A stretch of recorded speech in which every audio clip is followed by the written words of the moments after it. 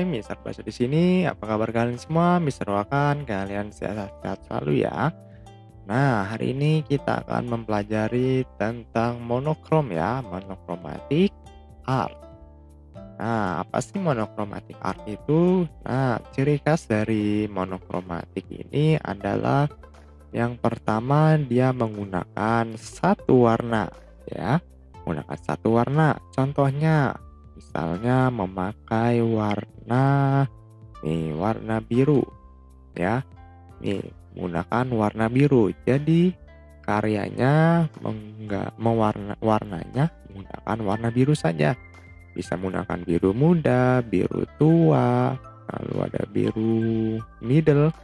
Kemudian ya banyak sekali warna biru. Yang penting warna biru. Nah itu namanya monokrom disiapkan dulu materialnya ya. Ini materialnya hanya simple, uh, ada alat tulis, alat tulis menghapus pensil, kemudian ada paper, bisa menggunakan kertas AVS atau buku gambar kalian, yang pastinya ukuran A4. Kemudian ada ini uh, alat mewarnainya, alat mewarnainya harus wajib uh, krayon ya. Nah, Oke. Nah, oh ya. Uh, karena ini monokromatik, tidak ada blendingnya, boleh menggunakan pensil warna, uh, pensil warna atau krayon ya. Nah, bisa keduanya atau di mix, boleh. Kemudian boleh menggunakan marker atau tidak, itu opsional. Nanti bisa jelaskan kenapa opsional di saat saat membuat karyanya. Oke, kita akan mulai ya. Jika sudah semua, yuk kita mulai. Nah, pertama-tama letakkan kertas kalian. Nah, kertas kalian seperti ini ya. Nih, letakkan kertas kalian seperti ini karena monokromatik hari ini adalah monokromatik art uh, landscape ya.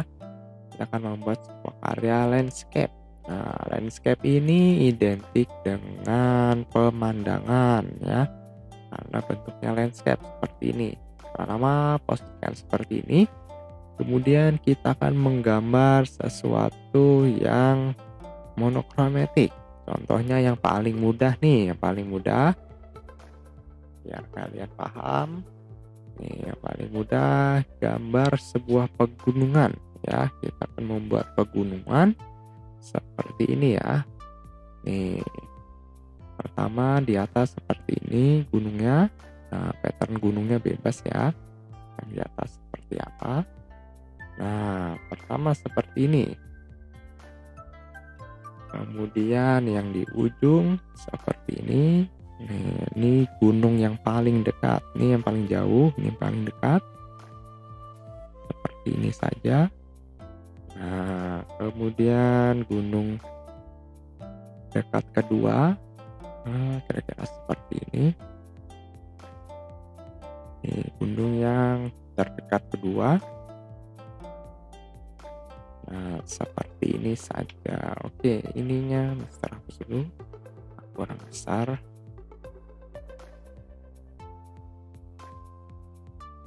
Nah, seperti ini ya kira-kira. Jadi ada berapa garis nih? Hanya ada tiga garis. Ya, garis pertama garis kedua dan garis ketiga. Nih bisa jelaskan ya. Yang di atas ini adalah sebuah langit ya. Pasti langit itu warnanya paling muda. Kemudian di sini ada gunung yang paling jauh. Nah paling jauh berarti uh, lebih muda warnanya eh, lebih gelap daripada langit ya warnanya. Oke make sense ya jadi langit paling muda ini pal, uh, lebih gelap daripada langit warnanya. Lalu yang gunung terdekat nomor tiga, nih nomor tiga, eh ya nih gunung terdekat nomor dua maksud Mister. Ini pasti lebih gelap daripada gunungnya di sini ya di belakangnya. Kemudian ini gunung yang paling dekat, berarti dia paling tua ya.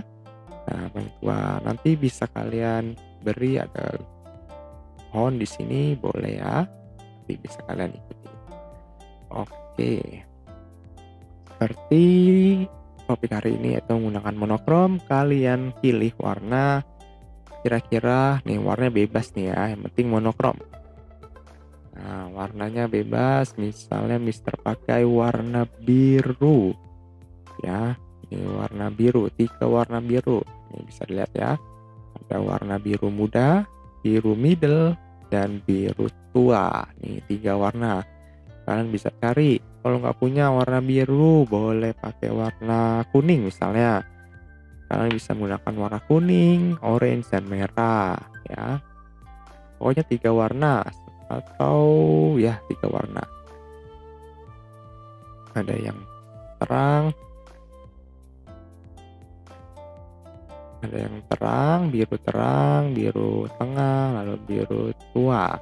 Ini nanti biru yang muda untuk di sini kemudian biru yang oh ya satu lagi warna biru lupa. Oke. Ini ya jadi ada empat ya.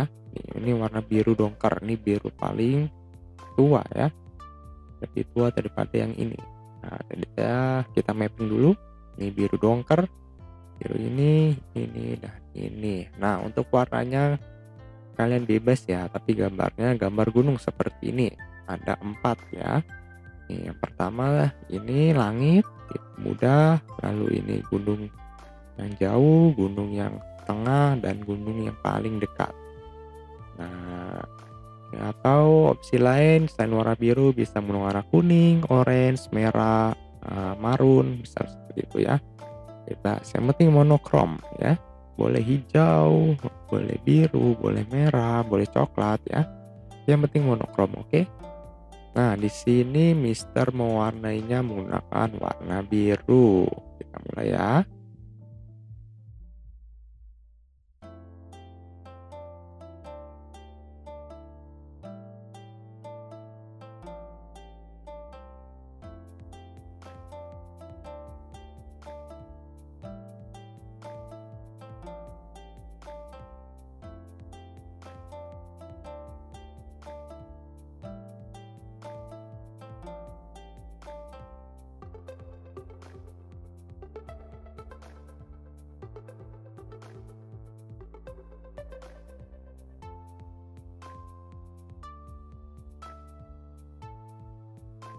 Nah, jadinya seperti ini ya. Tuh, ini adalah monokrom ya, monochromatic art.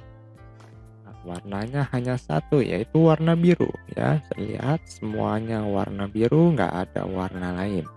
Nah, ini masih uh, kuncinya dari monokromatik itu warnanya harus rata. Nih bisa kan kalian temukan ada putih-putih di sini.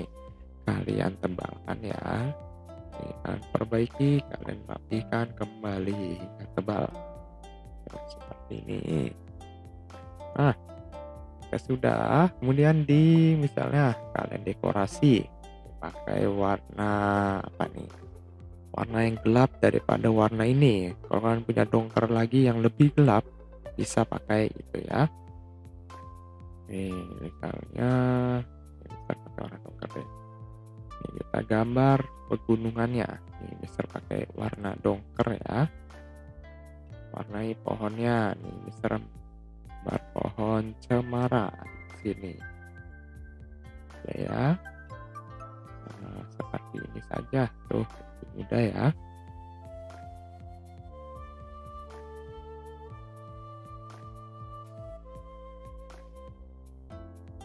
Nah, seperti ini Nah, sedet ya nggak kelihatan. Kalian campurkan dengan warna hitam. Ya, menghasilkan warna yang lebih gelap ya biar ada volumenya. Nah, kalian tebalkan kembali seperti ini. Tuh jadi ada teksturnya. Ya, lebih baik dan lebih bagus